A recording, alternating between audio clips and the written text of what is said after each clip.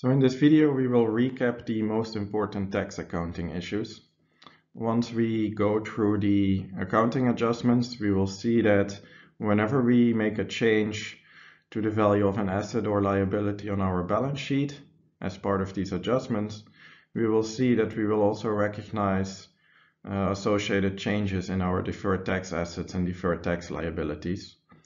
Uh, so the purpose of uh, these slides is to show you again why we make these changes and what is the reason why we have these deferred tax assets and deferred tax liabilities. So all of this arises because of differences between accounting and taxable profit. So accounting profit is the profit or loss that we have over, let's say, a year, but this accounting profit is determined in line with IFRS. So it's determined in line with the accounting standards and the conceptual framework as set by the IASB. Which is different from taxable profit, which can be different for companies in different countries, because it's the profit that is determined by the local tax authorities. And it's not determined by IFRS standards or the IFRS conceptual framework. It's purely determined in line with the rules established by the local tax authorities. And of course, these two can be different. Uh, the goal of IFRS is to provide information to, for example, investors, whereas the goal for the tax authorities will be something completely different. That would be having a fair tax collection system. So there are different guidelines then in terms of how we record profit under IFRS and how we record profit under the tax rules. And I said these two are, are different. So because of that, accounting profit and taxable profit are going to be different. That also means then that the tax expense that we report under IFRS is likely going to be different from the taxes that we have to pay to the tax authorities in a year. And that's what you will see here on this slide as well. So it's the accounting profit that is going to determine the income tax expense that we want to recognize. Based on the IFRS rules, we end up with a certain level of accounting profit and on that profit we are going to recognize tax expense. I said the tax rules can be completely different, so the taxable profit can be completely different from the accounting profit but it's going to be the taxable profit determined via the tax rules that is going to determine how much tax a company is going to pay in a given year. So it's the taxable profit that is going to determine the current income tax payable. So how much a company has to pay in tax in a given year. So I said those two can be different. Accounting profit is going to be different from taxable profit and because of that, the income tax expense that we want to record under the accounting profit is also different from the tax payable that is determined under the tax rules. And that's where accounting for income taxes arises from. We have these differences in accounting profit and taxable profit. Because of that, we have differences in income tax expense under IFRS and taxes that we have to pay under the tax rules. And what we will do via accounting for income taxes is identify the reasons for why these two are different and then account for those uh, differences. So we will look at the differences between accounting profit and taxable profit. We look at what is the underlying cause of these differences and we account then for the current and future differences between those two. And there can be two sources of differences. Uh, one is permanent, meaning that it will never reverse. There is going to be a permanent difference in what we recognize under accounting, so under IFRS, and what we recognize under the tax statements. So permanent differences relate to either revenue or expense items that are reported under IFRS, for example, but that will never be reported in our tax statements. or the opposite. So we can also have some revenue and expense items that are included in our tax statements, but that will never be included under IFRS. Which means that these differences are permanent. It's included in one statement, but it will never be included in the other statement. Meaning it's permanent and it will never reverse in a later accounting period. And you can see some differences here or some examples of these differences. For example, we can have non-deductible expenses. So maybe the company is getting a fine from the government and this will be an expense under IFRS. Uh, the company has to pay this fine, money is flowing out of the company, so the payment of this will be reflected as expense under IFRS. But in many cases, the company is not allowed to use this fine as a tax deductible expense. Uh, so this entire payment for this fine is not showing up as an expense in our taxable income. And it will never be showing up, meaning it's a permanent difference. We have this expense under IFRS, but we don't have the expense in our tax statements. Mean, you can also have the opposite where we have some non-taxable income or revenues that um, will show up as revenue or income under IFRS, we get some money, uh, we get maybe a government subsidy, and we recognize this as income under IFRS. But maybe then this is also not taxable in our taxable income. Uh, the government is giving us some money because they maybe want to incentivize us to open a local branch. And because of that, we get this subsidy and we don't have to pay tax on this subsidy. So this would also be a permanent difference in which we recognize the subsidy as income or revenue under IFRS, but we're not going to recognize this as income or revenue on our tax statements. And again, this would be a permanent difference. It's recognized under IFRS, but it will never be recognized in our tax statements. Then the second source of differences are temporary differences. And in this case, over the entire lifetime, we will recognize the same amounts under IFRS and under the tax rules. However, the point in time in which we recognize things are different. So there are differences between accounting profit and taxable profit, and these differences originate in one or more years, and they reverse in later years. So if you look at all the years combined, we recognize the same amounts, but we recognize something, let's say, earlier under IFRS compared to when we recognize it in the tax statements, or we recognize something later under IFRS uh, than we recognize it in our tax statements. And you will see some examples of temporary differences here. So in some cases, we use the accrual basis of accounting for IFRS, but we will use the cash basis of accounting uh, for taxable income. And of course, then the point in time in which we recognize things can be different. Um, that's why we can recognize revenues even though customers haven't paid us yet. We still recognize the revenue uh, and we recognize the associated accounts receivable. But if you use cash basis of accounting, you will only recognize the revenues once you've actually received the cash. So this would be an example of a temporary difference. Overall, we recognize the same amount. Only under IFRS, we recognize it when we make the sale, but for tax purposes, we recognize it only when we receive the cash. And we can also have differences when it comes to, for example, expenses. So in many cases, there will be differences in the depreciation rates that we use under IFRS and the depreciation rates that we use in our tax statements. And for example, we can have accelerated depreciation from our tax statements. Again, overall, we will recognize the same amount of depreciation. So if we look at the lifetime of, for example, the machine, we still recognize the same amount of depreciation. Only the amounts of depreciation that we recognize in each of the years can be different in IFRS versus our tax statements. So then what does it mean for the tax expense? because I said, the tax expense is going to be different from the amount that we have to pay to the tax authorities. And that's what you will see here. So our total tax expense actually consists out of two components. And the first component is the current tax expense.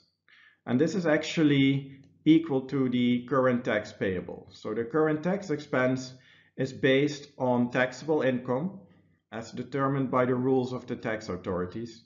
And that's also then determining the amount that we currently have to pay or maybe receive in cash from or to the tax authorities. So I said, but under IFRS, we want to recognize tax expense not based on the tax rules, but based on IFRS. And that's where the second component kicks in, this deferred tax expense. And that one actually recognizes the future tax consequences of these differences. So we have differences, for example, in depreciation rates, which lead to differences in tax income and IFRS income now, but also in future periods then. Because I said before, if the difference originates in one year, it has to reverse in one of the future years. And that's what we will recognize via this deferred tax expense. We have these differences. These also lead to future tax consequences, and we will recognize that now. So the deferred tax expense then basically reflects the taxes that are going to be paid or saved in future periods. So the ultimate goal of that then would be to more or less match the tax payment to the tax authorities to the appropriate period in terms of expenses. So whenever we have temporary differences, I said because maybe we use the accrual basis for IFRS, but the cash basis for tax, or we have different depreciation rates, whenever we have these temporary differences that cause differences between tax income and IFRS income, we will recognize these deferred taxes. And these deferred taxes match the tax payment to the appropriate period in which we want to recognize this payment as expense. And this will lead to two things. One on the balance sheet. So on the balance sheet, we will recognize deferred tax assets and deferred tax liabilities. And these deferred tax assets and deferred tax liabilities basically reflect the differences in the book values of assets and liabilities in IFRS versus the book values of these assets and liabilities in our tax statements. And they reflect that if we have these differences in book values, this will also lead to differences in future taxes that we have to pay. And these deferred taxes on the balance sheet then reflect these differences in the future taxes that we have to pay. And they reflect the cumulative difference in how we treat these assets under IFRS and how we treat these assets under tax purposes. Cumulative meaning if we have a machine for three years and we recognize different depreciation rates under IFRS and under tax, for three years. The DTA and DTL on the balance sheet reflect this cumulative three-year difference, which is not the case for the deferred taxes on the income statement, because that results from yearly changes in the DTA and DTL balances. Um, so we have some differences after three years. The income statement effect would be what is the incremental difference now that we have, let's say, in year four. So the deferred taxes on our income statement, this deferred tax expense, results from yearly changes in our DTA and DTL balances. And basically we add as expense any increase in DTLs because that reflects relatively higher future tax payments. And we also recognize as expense decreases in DTAs. And we subtract from that any increases in DTA, DTAs or any decreases in DTLs. Now let's look at an example where we have one company, XYZ, and we have cash sales of 1000 euros. And as a company, we only have one expense, and that is the depreciation on a machine, which we bought at the beginning of the year for 1200 euros. And we can use this machine for three years and it has no residual value. For IFRS purposes, we're going to use straight line depreciation, which means that in each of the next three years, we have pre-tax income that's equal to 600. We have our cash revenue of 1000 and with straight line depreciation and no residual value, the depreciation expense in each of the next three years would be the same, 400 euros. So over the next three years, we have 400 euros in depreciation expense, 1000 in cash revenue, so 600 in pre-tax income.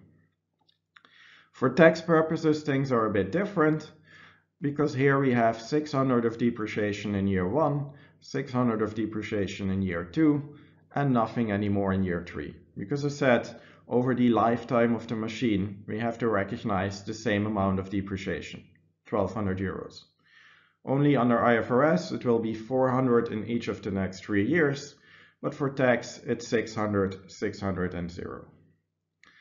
The tax rate is 30%, so the question would be, what is the tax expense and tax payable in each of the next three years?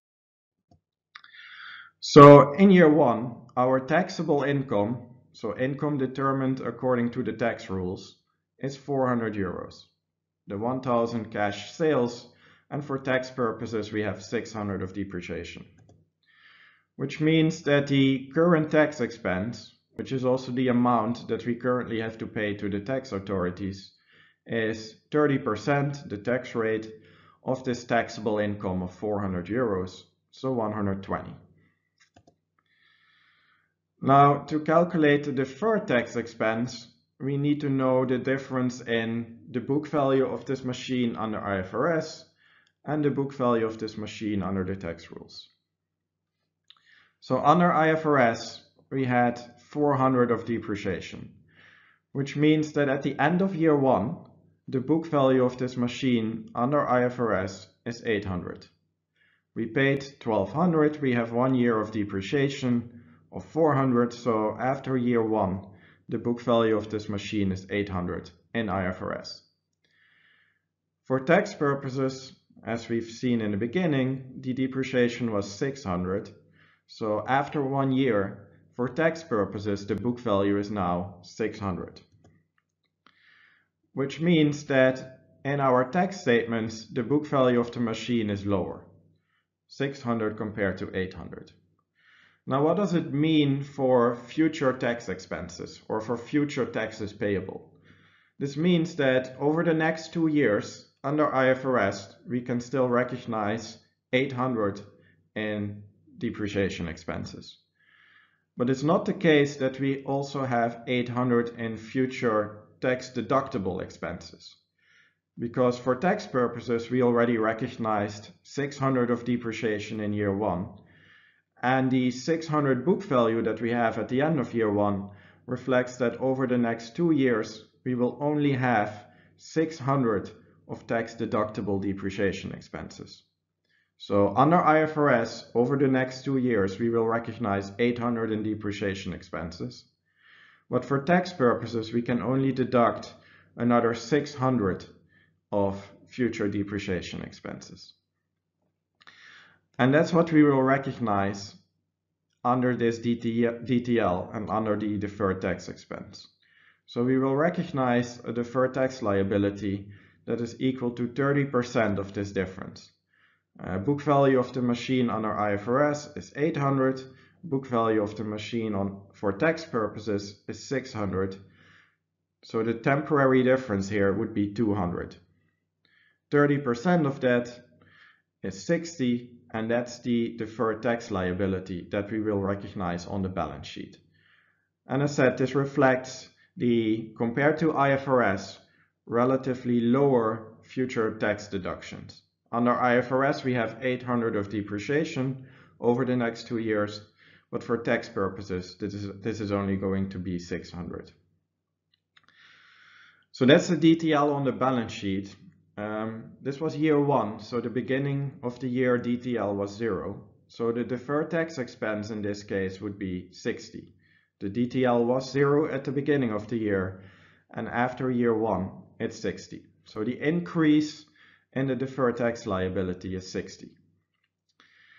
And the combination of the current tax expense, that's calculated in accordance with the tax rules, and this deferred tax expense, that will be the total tax expense that we report under IFRS. Current tax expense 120, deferred tax expense 60. So the combination of the two is 180. So the total tax expense that we report in year one is 180, which you can see is also equal to 30% the tax rate of our pre-tax IFRS income of 600. And that's also what we want to do. So what we've done now is by recognizing these deferred tax assets and liabilities, we are making sure that the tax expense that we report under IFRS is actually reflective of whatever we do under IFRS. So the 180 tax expense reflects the straight line three-year depreciation that we have under IFRS. So what we will have is we have a tax expense of 180 in the income statement, which consists of 120 that we have to pay now based on the tax rules, and a deferred tax expense of 60, which reflects that over the next two years there will be less tax depreciation. And on the balance sheet we will have a DTL of 60 and we will have taxes payable uh, of 120 reflecting this current tax expense. And we can continue with year two, where taxable income is again 400. We again have another year of 600 in depreciation expenses, and the taxes payable are again 120. And again, we need to look at the difference in the book value of the machine under IFRS and under the tax rules. So under IFRS, we have 400 left. Acquisition cost of 1200, less two years of 400 in depreciation expenses. However, for tax purposes, we're done. Uh, we bought the machine for 1200. In year one, we had 600 of depreciation, and in year two now again. So basically, for tax purposes, the machine is completely written off. So the book value of this machine under the tax rules is zero.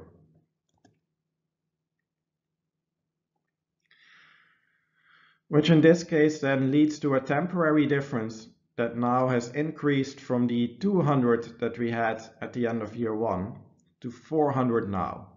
Book value of this machine under tax is zero. Book value of the machine under IFRS is 400. So the temporary difference is 400. 30% of that is the DTL. So on the balance sheet, we will have 120 as a DTL. And again, this reflects the lower future tax deductions. Because next year, in year three, we will see that there is no tax depreciation anymore, because for tax purposes, the machine has been written off.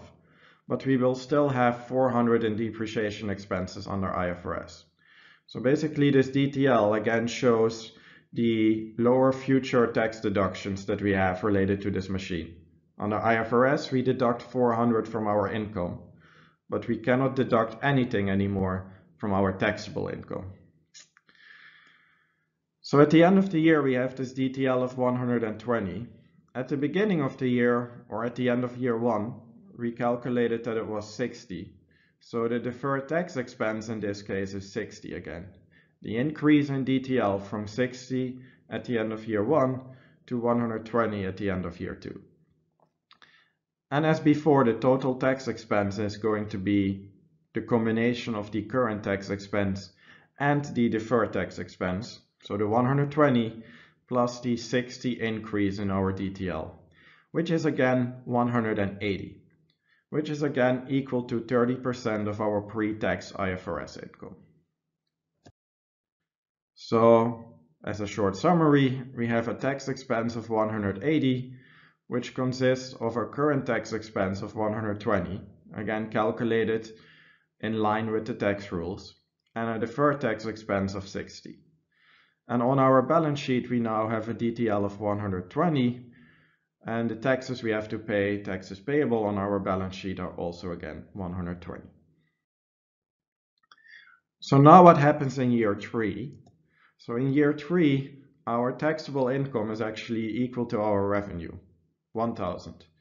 We've already recognized two years of depreciation of 600. So for tax purposes, the machine was fully depreciated. So taxable income in year three is actually equal to 1000, which also means that the taxes we have to pay are 30% of that. So the taxes that we have to pay in year three are now actually 300. For the deferred tax expense, as before, same in each of these years, we need to look at the differences under IFRS and under the tax rules. And actually at the end of year three, there are no differences anymore because now also under IFRS, we've fully depreciated the machine. Because in year three, we had another year of 400 in depreciation expenses. So at the end of year three, the book value of the machine is zero, both under IFRS and in our tax statements. Which also means that we no longer need a DTL on the balance sheet. Uh, because this DTL was reflective of these differences in book values.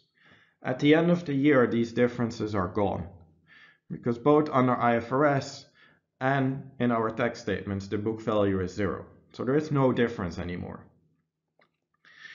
Which means that at the beginning of the year, we had a DTL of 120.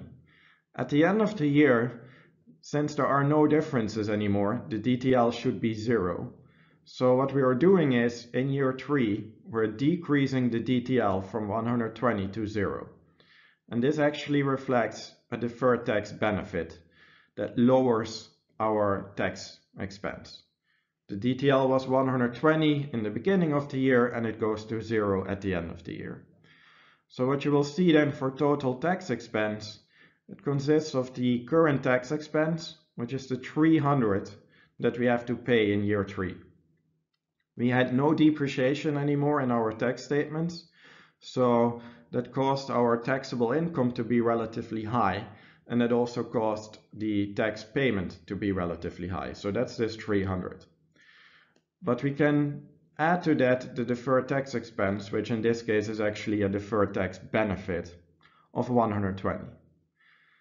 And if you combine these two, you will see that the total tax expense is again 180 or equal to 30% the tax rate of our 600 IFRS income. So as before, by recognizing these deferred tax effects, we make sure that the tax expense reflects the IFRS depreciation of 400. And you will see that in this case, there are quite some differences. We have a tax expense of 180. However, we have to pay 300 in taxes and we have this deferred tax benefit of 120. But on our balance sheet after year three, we don't see much anymore. There is no DTL anymore because there is no difference anymore in the machine under IFRS and the machine under tax. And the taxes we have to pay, taxes payable on our balance sheet are 300. So what have we done now? So as a quick summary, what we've done now is we've matched the tax payments to the appropriate periods. So if you look at the tax payments, and I said those tax payments were calculated in accordance with the tax rules. Uh, we had relatively high tax depreciation in the first two years, and we had no tax depreciation in year three. And that led to this pattern of tax payments. Uh, because of this high tax depreciation, we paid 120 in year one, we paid 120 in year two, but we had to pay 300 in the third year. However, under IFRS, we had 400 of straight line depreciation in each of these years. So in order to bring our tax expense in line with the 400 of IFRS depreciation, we recognized these deferred tax, uh, tax effects.